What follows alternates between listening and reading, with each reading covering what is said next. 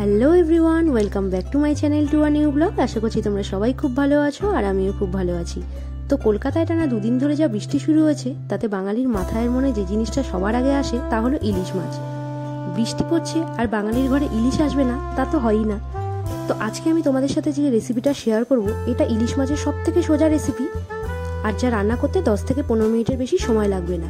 আমি আজকে শেয়ার করছি সর্ষে দিয়ে ইলিশ মাছ।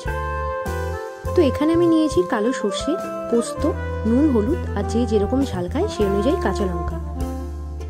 তো মশলাটাকে আমি এখানে শিলে বেটে নেব। আমার মতে শিলে বাটা মশলার স্বাদ মিক্সিতে বাটা মশলার স্বাদের থেকে অনেক গুণে বেশি।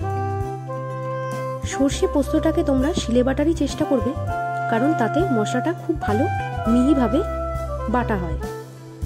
আর পোস্তটা মিক্সিতে খুব একটা ভালো পেস্ট হয় না। এখানে দুবার বেটে নিলেই মশলাটা খুব ভালো পেস্ট হয়ে যাবে আর এর থেকে বেশি বাটলে সর্ষের তেতো হয়ে যাওয়ার সম্ভাবনা থাকে। তো মশলাটাকে মাছের গায়ে খুব ভালোভাবে মাখিয়ে নিতে হবে আর দিয়ে দিতে হবে সর্ষের তেল। আমরা রান্না করার সময় কড়াইতে আলাদাভাবে কোনো সর্ষের তেল ইউজ করব না।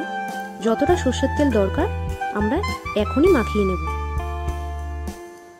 তো এদিকে গ্যাসটা অন করে আমরা তার মধ্যে একটা কড়াই বসিয়ে দিয়ে এই মেখে রাখা মাছটাকে কড়াইয়ের মধ্যে দিয়ে দেবো। আর মাছটাকে কড়াইতে আলাদা করে ভাজার কোনো দরকার নেই। আর তারপর দু থেকে তিন মিনিট ফুটিয়ে নেব। এই সময় আমরা এখানে জল ব্যবহার করব না। দু তিন মিনিট ফোটার পর তারপরে আমরা সামান্য পরিমাণে জল দিয়ে মাছটাকে হালকা করে একটু নাড়াচাড়া করে দিয়ে গ্যাসের আঁচটাকে লোতে রেখে কড়াইটা ঢেকে দেব। এভাবে দু তিন মিনিট ফোটানোর পর আমরা গ্যাসের হিটটাকে মিডিয়ামে করে আরও আট থেকে দশ মিনিট ফুটিয়ে নেব। আর তাহলেই দেখা যাবে মশলার গা থেকে তেল বেরোনো শুরু করে দিয়েছে আর জলটা অনেকটা শুকিয়ে গেছে।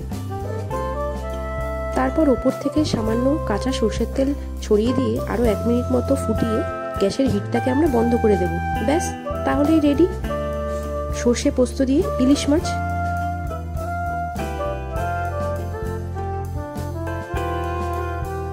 দুপুরবেলা গরম ভাতের সাথে যদি এরকম একটা সর্ষে পোস্তর ঝাল পাওয়া যায়, তাহলে কিন্তু খাওয়াটা একদম জমে যাবে।